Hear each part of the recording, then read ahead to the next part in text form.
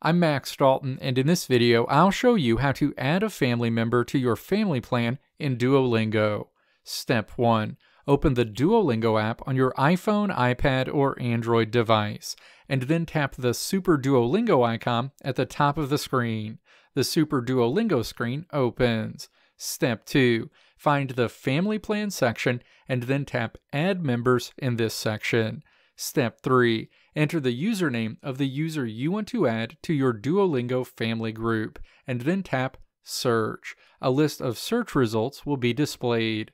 Step 4. Find the specific user you want to add to your Duolingo family group and then tap Invite next to that user. You'll see a message asking if you're sure you want to invite this user to your family plan. Step 5. Tap Send Invite to invite this user to your Duolingo family plan. An invite will be sent to that user. The next time that user opens their Duolingo app, they'll get a prompt to join your family plan.